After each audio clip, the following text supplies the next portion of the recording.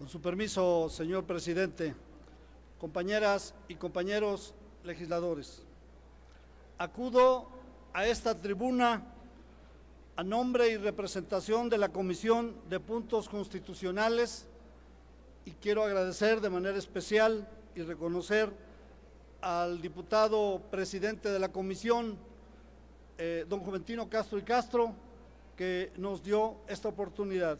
Asimismo, quiero hacer un reconocimiento especial al diputado Guillermo Cueva Asada, del Partido Verde Ecologista, quien impulsó una importante dictaminación en esta iniciativa.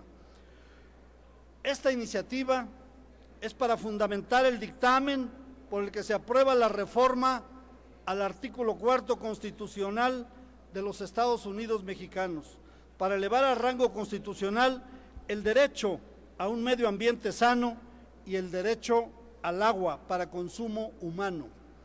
Esta reforma implica la modificación del cuarto párrafo y la adición de un quinto párrafo al artículo cuarto del texto constitucional. En el párrafo propuesto por la dictaminadora se distinguen dos momentos argumentales. El primero de ellos nos expresa el, el objeto y sujeto del derecho y un segundo momento nos indica cómo plasmarlo y hacerlo efectivo en la legislación secundaria. Estamos hablando de una disección que distingue el qué y el cómo respecto al derecho al agua. La definición de derecho al agua aquí plasmada surge de la establecida por los instrumentos del derecho internacional de manera tal que se retoma la definición de derecho humano al agua establecida por el Comité de Derechos Económicos, Sociales y Culturales de la Organización de las Naciones Unidas. Es así que cuando se expresa el derecho al agua como el que tiene toda persona a disponer de agua suficiente, salubre, aceptable, accesible y asequible para el uso personal y doméstico, no se trata de un conjunto de adjetivaciones ideológicas como erróneamente se ha llegado a interpretar, sino de un conjunto de características y factores indispensables para la realización de este derecho. Quiero, en ahorro del tiempo, partir de algunas consideraciones. Por elementales que parezcan las condiciones en que se encuentra el pueblo de México, es importante decir que en nuestro país existen más de 10 millones de personas que no cuentan con suministro alguno de agua potable, al grado tal que incluso en comunidades indígenas y rurales, las personas que fundamentalmente son mujeres y niñas caminan decenas de kilómetros para acceder al agua y poder acarrearla a sus casas. Muchas veces esta agua es insalubre, razón por la cual el índice de mortalidad infantil sigue siendo preponderantemente notorio en los sectores más empobrecidos del país.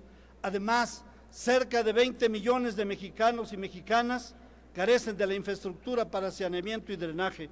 Es por ello que la reforma discusión pretende generar una política pública consistente y que por mandato constitucional se instrumente para resolver esta lamentable e inaceptable situación.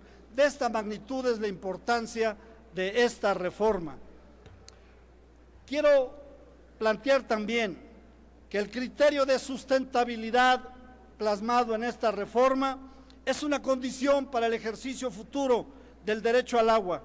Implica una cláusula de responsabilidad para con las generaciones futuras no podrá otorgarse el disfrute y acceso al agua a costa de comprometer la sustentabilidad del recurso, no solo en y para el consumo humano, sino en cualquier tipo de explotación y aprovechamiento de agua.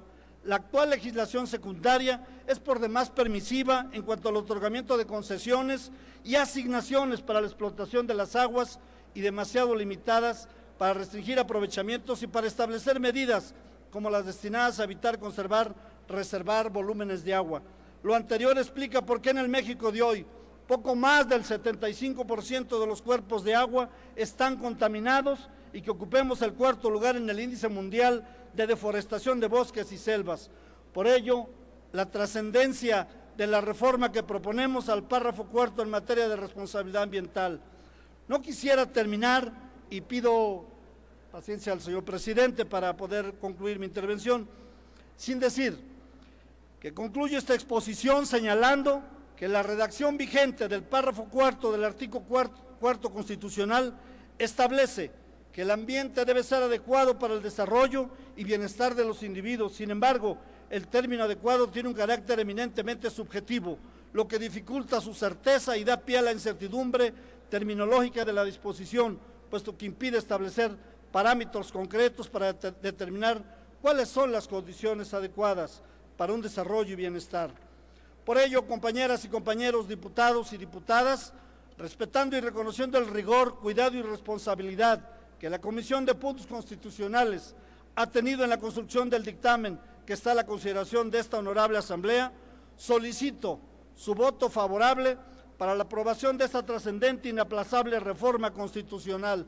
El pueblo de México y las familias necesitadas del agua nos lo van a agradecer, nos lo van a agradecer a esta Cámara de Diputados. Por su atención, muchas gracias.